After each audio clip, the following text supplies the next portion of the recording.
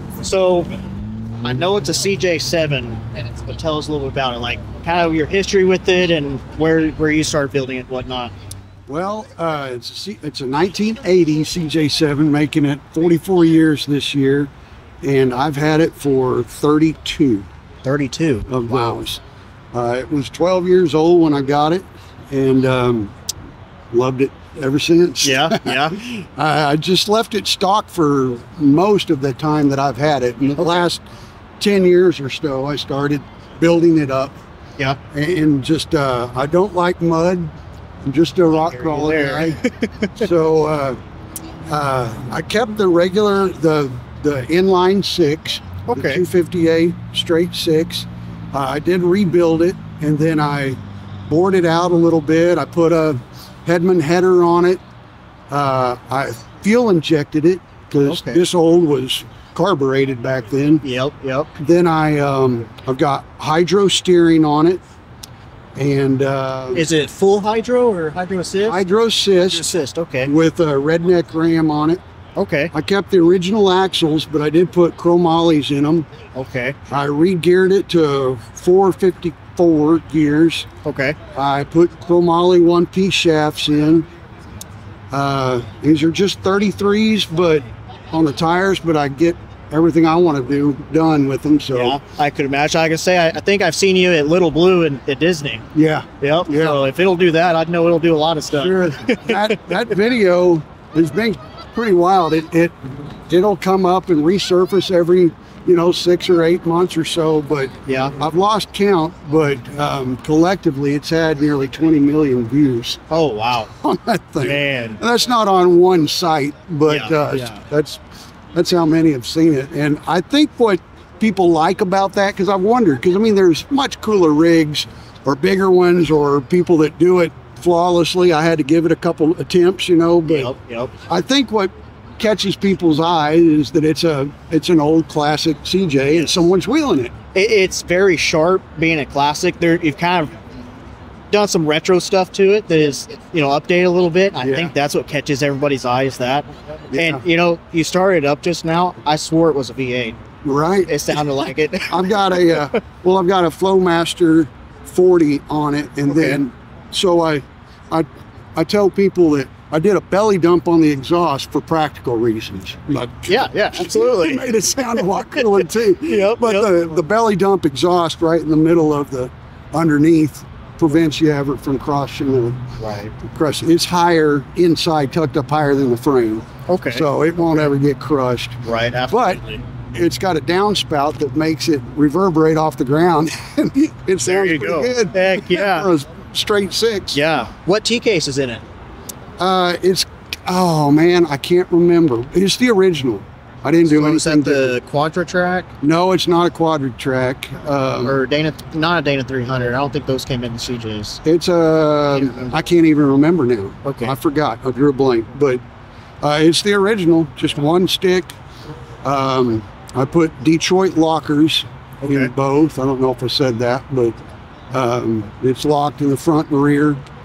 And then um, trying to think what else I did. Oh, I put MetalCloaks on the front fenders, so those were not uh, original, but I saved my originals and they're Okay. uncut. Yeah. So I powdered coated these, and that was that was pretty hard getting the paint to match on. I could You imagine. know, back then it was like 35 year old paint. right. but right. Uh, the shop did a great job, and man, that just opened a whole new world to me because Yeah. the, it, even though it's just got the original, um, uh, well, it's it's leaf springs. It's not original, but it's just got leaf spring suspension. yeah. Um, it'll still really flex. Yeah. Yeah. Um, and I put uh, boomerangs. A good buddy of mine made those boomerangs on the front and the back, and um, those really, really help because so you when you say those- boomerang, I know a little bit about these, but for the ones that do not know, can you point out what you're talking about? so this boomerang is a is a longer shackle and it's got a bend in it, an elbow joint, just like an actual boomerang. And what that does by putting them on the front is that normally this this was just pivoting on the top bolt. The the spring was pivoting on the top bolt. So if you wanted to say you're coming up to a 18 inch ledge, you know, somewhere, you know, right in here that your tire couldn't just naturally crawl over, Right. you'd have to bump it pretty good in order to compress the spring up and then pivot back. Okay. And so what a boomerang does is it allows you to comp- to hit and the Jeep itself moves forward, the spring does not and it and it it rotates back Okay. in order for you to bump up a a, uh, Ledge. a ledge without having to really do a serious bump. Gotcha. It kind of load preloads your spring for you. Yeah, Then when yeah. you get on the apex of the edge, then whoop, you're just right up on top. Okay.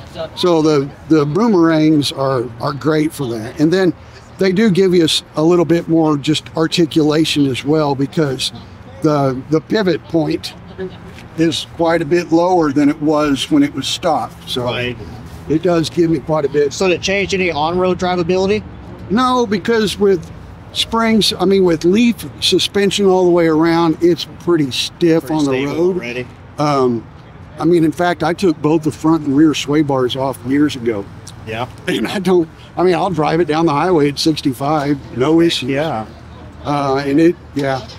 I did put, since I got the MetalCloaks, I ended up putting uh, spacers in, one and a half inch spacer, because I was, I was rubbing right here. Normally, my, my limiting factor was bottoming out in the fender weld, but that's never going to happen now because he's just gaining so much more travel. Heck yeah. So then my limiting factor became turning radius and Okay. hitting the spr- the leaf spring. So I I scooted the tires out just a tad okay. so that I don't I don't rub at all at all anymore. You're running uh, Mickey's, sticky These Mickey's. are these are not stickies, the, but it's the Baja Claw Tough Truck Challenge series, which is kind of kind of cool for me because one of my best friends, Brad Austin, who is legendary in the off-road world. I hope he doesn't see this or he'll get a big head. But uh, uh, Brad builds big, giant, you know, tube chassis and buggies right here in in Oklahoma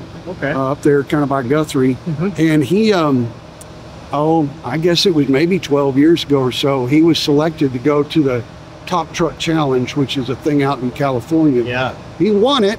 And then he went back for the Masters like all the winners, and then he won that. Oh, nice. So, Heck yeah. so he might have won top truck top truck challenge, but I've got the tires. he he doesn't have the TTC tires. Yep, yep.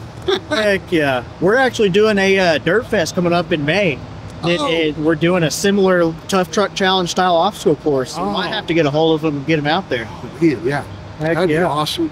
Yeah, Heck he's yeah. got a, a huge, huge buggy, and he's done, he's done it all. I mean, he's Heck he's been at the top of his game and featured in all kinds of magazines and all that. He's, Nice. he's done a whole lot of the work on this for me. Has he? Uh, Okay. Yeah, um, Heck yeah. yeah. I mean, everywhere I look, there's a little bit of his handiwork. You know, he's, he's done uh, off and on. I do have one cool thing to show you on the other side. Yeah, absolutely. Let's do it. In 2015. Okay. at Disney, uh, where Little Blue is, um, I had I did not have this built up hardly at all. It had regular 31 inch tires. It wasn't locked. No hydro assist, fuel uh, carbureted, just all the stuff that I just said I did. Right. I didn't have any of that. I didn't even have um, the two doors or the extra built up uh, roll cage. And I tried a hill I couldn't make it up. It was losing traction. Tried to back down and discovered at that time I only had one brake. My front passenger brake was the only one working. So, and I didn't think enough to to not let on the brake. I just held it onto it for dear life because I was going downhill pretty good. And at the bottom, uh, couldn't keep it from rolling, and so it rolled. I only have a lap belt. I still only have a lap belt. So I just bear hugged the steering wheel. But with no doors, when I rolled upside down, this leg came out. And then it landed on that leg. Oh, And right here is the dent from my leg. And so there were, there were, uh, it was during Big Meat Run, big event every year, and there were hundreds of people everywhere.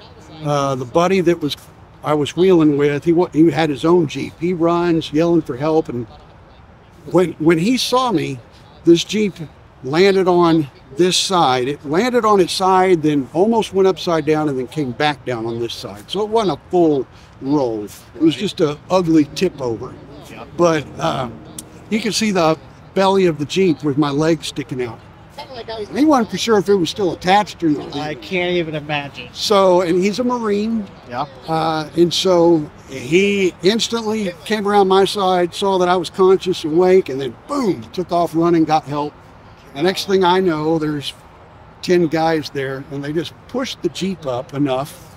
Somebody cuts my seatbelt, they pull me out, and uh, um, everyone's a suit. Well, there's Jeeps are coming in left and right to secure it because I was still on the hill.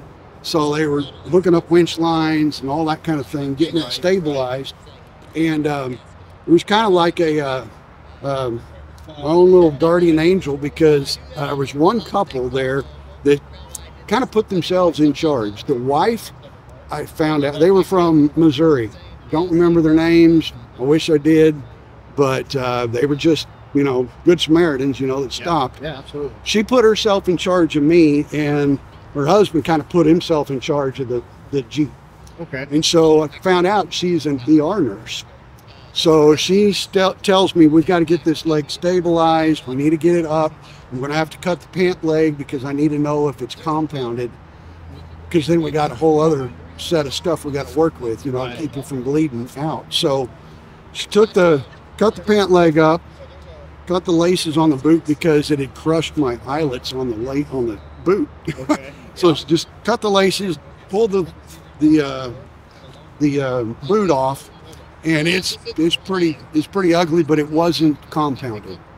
And so she then says, "Okay, we've got to get this stabilized." They called for um, uh, emergency uh, EMTs came in from Disney and uh, they put a little makeshift splint on it, carried me out on a gurney, uh, and get me to the hospital in uh, uh, Pryor, I think. I can't remember, but anyway, went there.